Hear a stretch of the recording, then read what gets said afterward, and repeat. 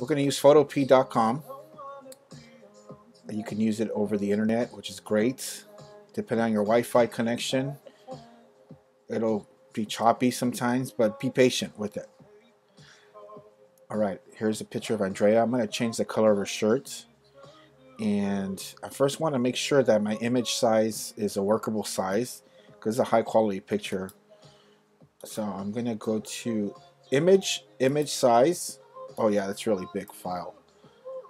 And I'm going to, the largest number that shows on your picture that you use, make sure it doesn't go more than 1800.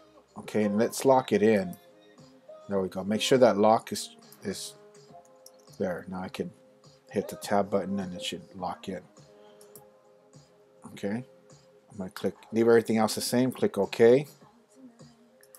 And that's going to make the size smaller and it'll be easier to work with. All right, let's go to the navigator. Right, it went smaller, but just zoom in on the navigator. There we go. All right.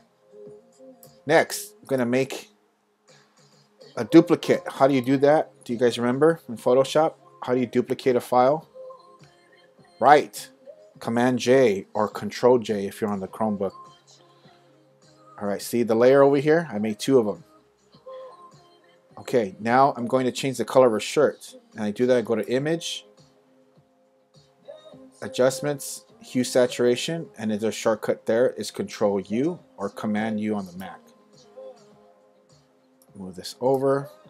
And I'm going to slide this over there. It might be a delay depending on your, again, your Wi-Fi speed and your computer speed. So I'm going to change her color to maybe like a bright pink. There we go, like that.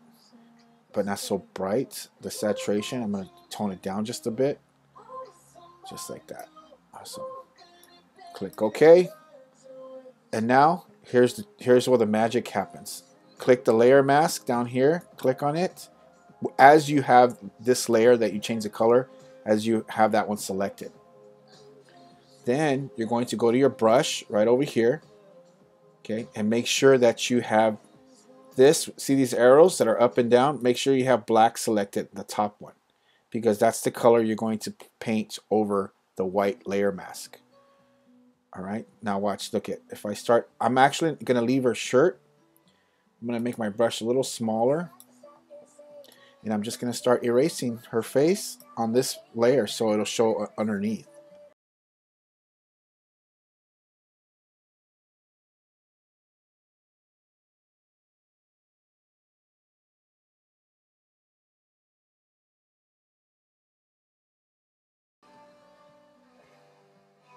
Okay, here if you make an error, anything, you can reverse that easily. All you have to do is just go here to your little brush area I'm sorry your colored area. Click the arrow make sure you get white. And you're on the layer mask okay because you're gonna paint white on white to erase that. What you're actually not erasing? You're just covering it back up. See? So any areas that you feel you messed up on just go back and just click this go back now I can go in there I'm gonna zoom in there you can see around her neck area I'm gonna zoom in there and get rid of that other stuff and make the other paint there and just make my brush size smaller. You can see a little spot I missed there, but that's okay. I'm going to fix that in a little sec.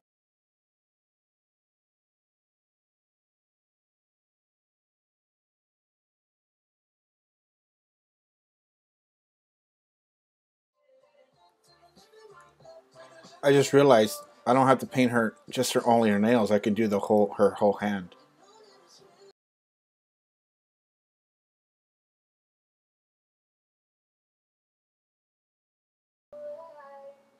Okay, so there's your finished product. I still have to go in there with the hair. I'm going to leave the couch like that.